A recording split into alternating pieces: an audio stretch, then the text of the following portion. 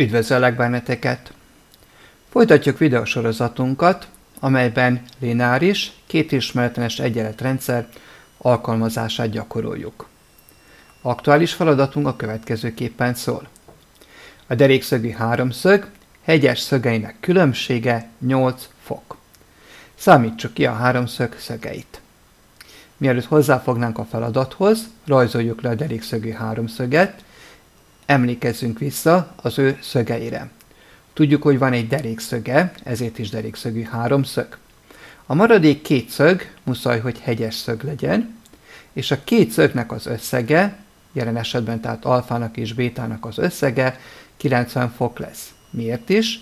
Hiszen a háromszög belső szögeinek az összege 180, abból, ha kivonjuk a derékszöget a 90-et, megkapjuk a hegyes szögek összegét, ami 90 fok. Ezek szerint egyrészt tudjuk a hegyes szögek különbségét, ami 8 fok, másrészt a háromszög segítségével tudjuk a hegyes szögek összegét, ami 90 fok. A gammával tehát nem kell külön foglalkozni, azt tudjuk, hogy 90 fok.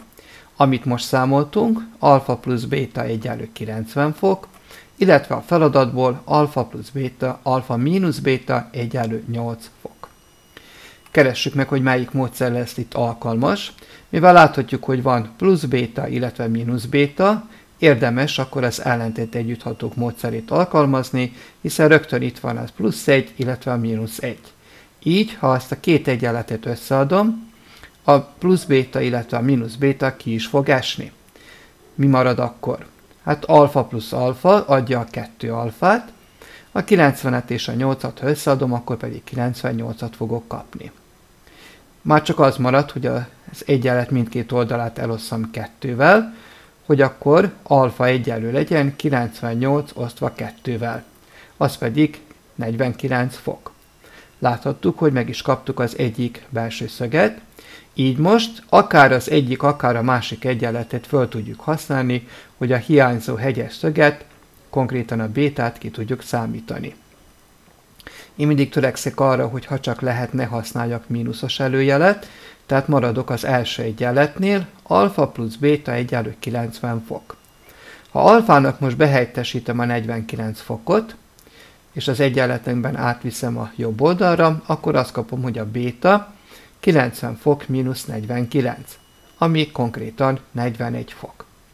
Mit kerestünk? A háromszög belső szögeit, alfát kiszámoltuk, bétát kiszámoltuk, és a gamma már adott volt 90 fok. A válaszunk tehát a háromszög szögei, alfa 49 fok, béta 41 fok, és a gamma 90 fok. Még csak annyi marad, hogy leellenőrizzük ezeket a megoldásokat. Természetesen a gammát nem kell ellenőrizni, hiszen őt nem számoltuk külön, csak azt a két egyenletet veszük alapul, ahol az alfa és a béta szerepel. Vagyis a megoldás halmazunk 49 fok és 41 fok, alfa és béta sorrendben. Az egyik egyenletünk alfa plusz béta 90 fok, a másik pedig alfa mínusz béta egyenlő 8 fok. Helytesítsünk be egyikbe, illetve másikba, és azt kapjuk, hogy 49 plusz 41 az igen 90 fok, míg 49 mínusz 41, ez pedig igen pontosan 8 fok. Láthatjuk, hogy mindkét állításunk igaz, ami azt jelenti, hogy jól oldottuk meg a feladatunkat. Köszönöm a figyelmeteket!